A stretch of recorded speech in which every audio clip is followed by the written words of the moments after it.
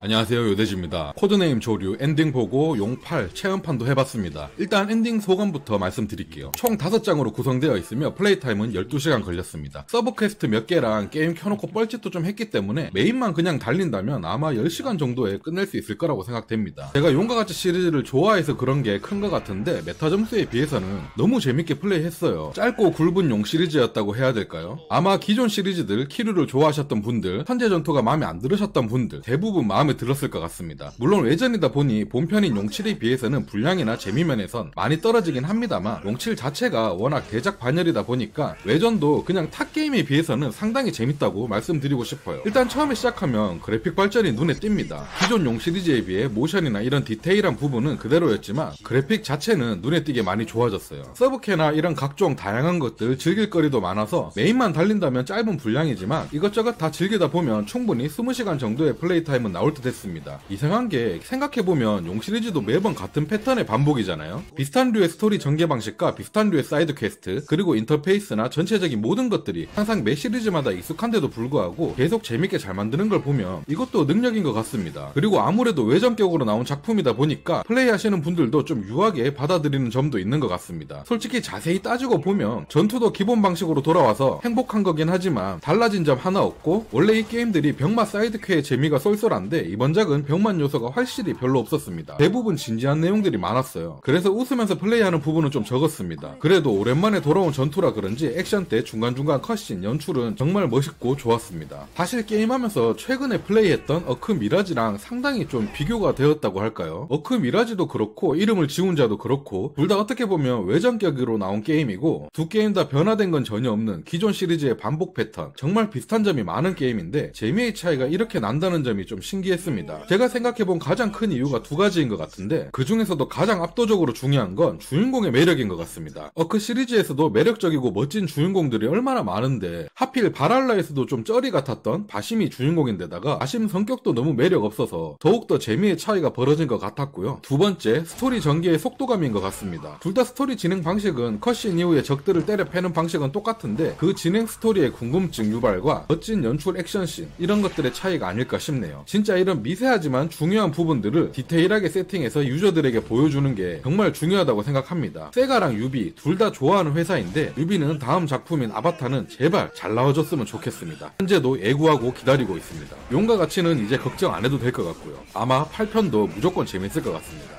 그리고 엔딩을 본 후 8편 체험판도 플레이 해봤고요. 일단 체험판 소감을 듣기 전에 구독, 좋아요 한 번만 눌러주신다면 너무 감사하고 힘이 될 것 같습니다. 스토리 체험 모드와 하와이 체험 모드 두 개가 있었습니다. 스토리 체험 모드는 우리가 생각하는 체험판이고요. 대략 2, 30분 분량의 짧은 스토리를 체험할 수 있습니다. 하와이 체험 모드는 미니게임과 몇몇 사이드 퀘 정도를 해볼 수 있는 모드이고요. 아무래도 하와이가 배경이다 보니까 수영하면서 노는 거라든지 이런 것들이 추가되어 있더라고요. 용 시리즈 모든 걸 다 해본 건 아니지만 아마 제 생각엔 이번 8 8편이 가장 많은 변화가 있지 않을까 생각합니다. 일단 맵부터 하와이이기 때문에 싹 변경되어서 완전 새로운 맵이고 NPC들도 서양 사람들이라서 많이 새롭더라고요. 좀 더운 여름에 출시하면 더욱더 시원시원해 보일 것 같은 배경이라서 2월에 출시하더라도 7월 정도까지 기다렸다가 여름 세일 때 사서 해보는 것도 좋지 않을까? 라고 잠깐 생각해봤습니다. 그리고 용칠과 같이 턴제 전투로 돌아오긴 했는데 미세하고 디테일한 부분들이 은근히 많이 바뀐 전투였습니다. 광역 공격 범위도 표시되고 전투에 전략을 더 짤 수 있게 어느 정도 스스로 이동이 가능하여서 물건을 집어 던진다거나 팀플 공격을 좀 더 활용하기 좋게끔 되어 있었습니다. 제 취향상 턴제 게임을 안 좋아하지만 용칠 턴제는 나름 할만하다고 생각했는데 용팔은 턴제라도 잘 맞지 않을까 생각되고요. 전투에도 많은 변화를 주려고 노력한 부분들이 보였습니다. 크게 보면 전체적인 시스템은 기존과 같은 용 시리즈 시스템이지만 그 안에 작은 것들의 변화를 많이 주어서 우리에게 더 재밌고 새롭게 다가오려는 시도가 많이 보였습니다. 이런 작은 점 하나하나가 모여서 또 갓 게임을 만드는 거 아니겠습니까? 않습니까? 체험판만 해봐도 스토리 전투, 새로운 배경 등 전부 마음에 들었고요. 이 정도면 뭐 예구를 안 할 수가 없겠네요. 물론 게임 패스 day one에도 같이 나와준다면 돈도 아끼고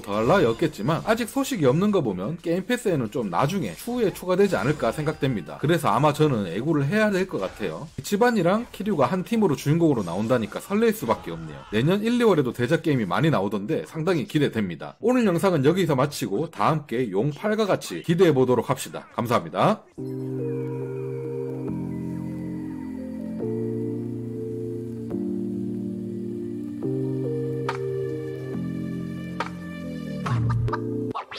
Ha ha ha!